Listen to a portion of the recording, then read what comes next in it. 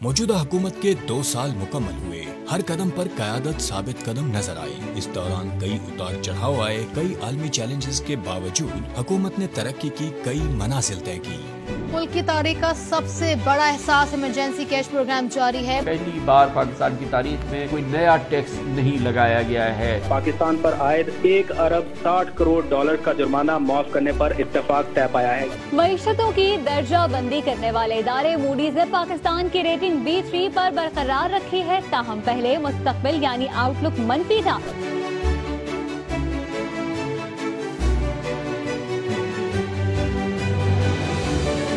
मौजूदा हुकूमत की इन कामयाबियों में एक बड़ी कामयाबी ये भी है कि इसकी वजह से दहाइयों से एक दूसरे के दुश्मन। जो पाकिस्तान के खून पसीने की कमाई वो कहाँ है? हमेशा आपने इस्टेब्लिशमेंट के साथ मिलकर हमारी पीठ में छोरा घूमा तुम अकेले इस पाकिस्तान के मालिक नहीं हो।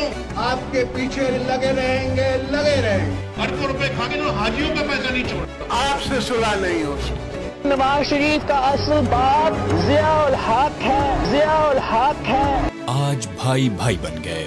इसका सारा क्रेडिट मौजूदा हुकूमत को जाता है। इसमें कोई दो राय नहीं। खैर ये तो थी हुकूमत की कामयाबियाँ। अब ऐसा भी नहीं है कि अपोजिशन ने कुछ अचीव नहीं किया।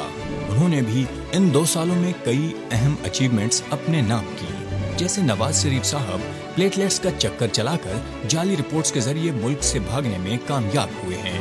नवाज़ शरीफ इसी मिट्टी में से है, इसी धरती का बेटा है। आप में रहेगा। फ़िक्र ना करो, आप भागने वालों में से मौलाना फजलुर रहमान हुकूमत के बगैर दो साल निकालने में कामयाब हुए। शहबाज शरीफ इन दो सालों में पूरी दुनिया को हैरान करने में कामयाब हुए कि कैसे लैपटॉप में इंस्टॉल एंटीवायरस से कोरोना वायरस खत्म किया जाता है। कैसे दस भैंसों के दूध से खरबों रुपए के असासे बनाए जाते हैं। शहबाज शरीफ साहब दुनिया को यूँ भी हैरान करने में कामयाब हुए हैं कि ये सत्तर साल की उम्र और जारी केमोथेरेपी के बावजूद इतने ताकतवर इंसान हैं कि जब उनको कोरोना हुआ तो खांसी तक नहीं हुई। मरियम साहिबा इदारों को बदनाम करने के लिए जाली वीडियोस बनाने में कामयाब हुई। बिलावल जरदारी नए अनोखे फार्मूले इजाद करने में कामयाब हुए हैं जिनसे पूरी दुनिया अब फ़ायदा उठाएगी। जब बारिश आता है तो पानी आता है। जब ज़्यादा बारिश आता है तो ज़्यादा पानी आता है। यही नहीं वो पाकिस्तान का असली जोग्राफिया ड्राफ्ट करने में भी कामयाब हुए हैं। इस्लामाबाद ऐसा है लाहौर ऐसा है कराची ऐसा है।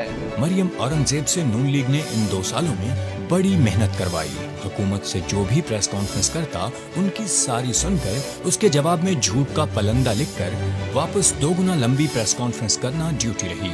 तो इस तरह मरियम औरंगज़ेब साहबा प्रेस कॉन्फ्रेंसों का रिकॉर्ड बनाने में कामयाब हुई। सिंध हुकूमत हमेशा की तरह इन दो सालों में भी अपनी आवाम से दिन रात बद दुआएँ लेने और गालियाँ सुनने में कामयाब रही।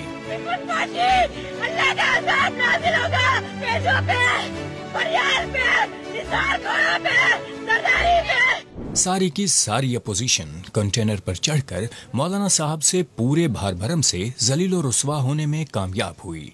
यहाँ तो सारा टब्बर चोर है।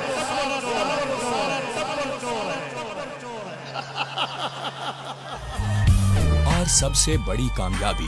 आखिर में मौलाना साहब खुद इस्लामाबाद से भागने में कामयाब हुए हैं। मौलाना फजल रहमान ने गुजशत शब इस्लामाबाद में धरना खत्म कर दिया।